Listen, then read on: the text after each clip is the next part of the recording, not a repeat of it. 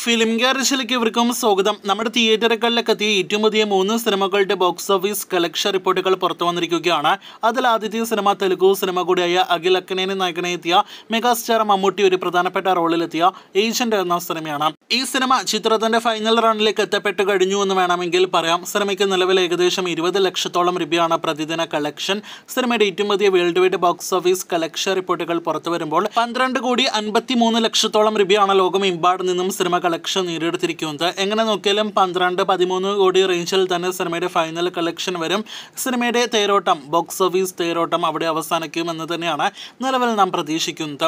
എന്തായാലും സിനിമ നേരത്തെ തന്നെ തിയേറ്റർ ഉടമകൾക്കാണെങ്കിലും നിർമ്മാതാക്കൾക്കായാലും സാമ്പത്തികമായിട്ട് വൻ നഷ്ടം ഉണ്ടാക്കി കൊടുത്ത സിനിമയാണ്. ഒരു പക്ഷേ നമ്മുടെ മെഗാസ്റ്റാർ മമ്മൂക്കയുടെ സ്റ്റാർഡം എല്ലാം തന്നെ കണ്ട് കേരളത്തിലേക്ക് സിനിമ അഞ്ചും പത്ത് കോടി രൂപയ്ക്കെല്ലാം തന്നെ വിതരണത്തിനായിട്ട് കൊണ്ടുവന്നിരുന്നെങ്കിൽ കേരളത്തിലെ വിതരണക്കാരായ യൂളിൻ പ്രൊഡക്ഷൻസിന് സിനിമ വൻ സാമ്പത്തിക നഷ്ടം ഉണ്ടാക്കി കൊടുത്തേനെ നിലവിൽ ഒരു കോടി രൂപയുടെ നഷ്ടമാണെന്നൊക്കെ അറിയാനായിട്ട് കഴിയുന്നു.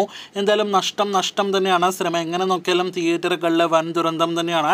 എന്തായാലും ഏജന്റ് എന്ന സിനിമ ഫൈനൽ റണ്ണിലേക്ക് എത്തപ്പെട്ടിരിക്കുകയാണ്. അടുത്ത സിനിമ ഫഹദ് ഫാസൽ നായകനെത്തിയ പാച്ചുവും അത്ഭുത വിളക്കും എന്ന സിനിമയാണ്. തിയേറ്ററുകളിൽ നിന്ന് പോസിറ്റീവ് അഭിപ്രായം ലഭ്യമായ സിനിമയ്ക്ക് ഇന്നലെയും കേരള ബോക്സ് ഓഫീസിൽ നിന്ന് ഏകദേശം അൻപത് ലക്ഷത്തോളം രൂപ ഗ്രോസ് കളക്ഷൻ നേടിയെടുക്കാൻ കഴിഞ്ഞിരിക്കുകയാണ്. രണ്ടായിരത്തി പത്തൊൻപത് മുതൽ ഈ വർഷം വരെ പല ഘട്ടങ്ങളിലായിട്ട് കോവിഡിന്റെ എല്ലാം തന്നെ കാരണങ്ങളാൽ ഷൂട്ടിംഗ് വൈകിപ്പോയ സിനിമ കൂടിയായിരുന്നു പാച്ചുവും അത്ഭുത വിളക്കും അന്യ സംസ്ഥാനങ്ങളിലെ ഗോവയിലും മുംബൈയിലെല്ലാം തന്നെ ചിത്രീകരിച്ച സിനിമയ്ക്ക് പത്ത് കോടിയോളം രൂപയാണ് ബഡ്ജറ്റ് കണക്കാക്കുന്നത്.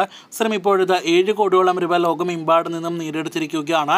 ആറ് കോടിക്ക് മുകളിൽ സിനിമയുടെ കേരള കളക്ഷൻ കടന്നിരിക്കുകയാണ്. നിലവിൽ ബോക്സ് ഓഫീസിലെ സിനിമ മികച്ച തുടക്കമാണ് നേടിയെടുത്തിരിക്കുന്നത്. അവസാനത്തെ റിപ്പോർട്ട് പി എസ് ടു എന്ന സിനിമയുടേതാണ്. പൊന്നിയൻ സെൽവന്റെ രണ്ടാം ഭാഗമായ പി എസ് ടു എന്ന സിനിമയ്ക്ക് ഇന്നലെയും കേരള ബോക്സ് ഓഫീസിൽ നിന്ന് ഒരു കോടിക്ക് മുകളിലെ കളക്ഷൻ നേടിയെടുക്കാൻ കഴിഞ്ഞിരിക്കുകയാണ്.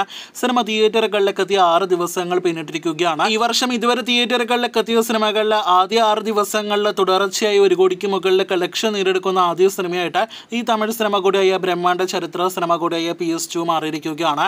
നേരത്തെ രോമാഞ്ചമെല്ലാം തന്നെ തുടർച്ചയായി ഒരുപാട് ഒരു കോടികൾ നേടിയെടുത്തിട്ടുണ്ടെങ്കിൽ പോലും സിനിമയുടെ ആദ്യ ദിന കളക്ഷൻ അൻപത് ലക്ഷത്തിൽ താഴെയായിരുന്നു.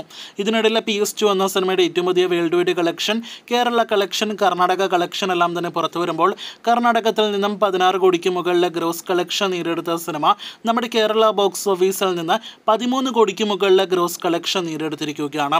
ചിത്രത്തിന്റെ വേൾഡ് വൈഡ് കളക്ഷൻ റിപ്പോർട്ട് പുറത്തു വരുമ്പോൾ ഇനിയും എല്ലാ മേഖലകളിലെയും കൃത്യമായ കളക്ഷൻ റിപ്പോർട്ട് പുറത്തു വരാത്ത ഈ സമയത്ത് പോലും സിനിമ ഇരുന്നൂറ്റി നാൽപ്പത്തി അഞ്ച് ഇരുന്നൂറ്റി അൻപത് കോടി റേഞ്ചിൽ വേൾഡ് വൈഡ് കളക്ഷൻ നേടിയെടുത്തുന്നത് കൺഫേം ആക്കപ്പെട്ടിരിക്കുകയാണ്. വെറും ആറ് ദിവസങ്ങൾ കൊണ്ട് സിനിമ മികച്ച കളക്ഷൻ നേടിയെടുത്തിരിക്കുന്നു.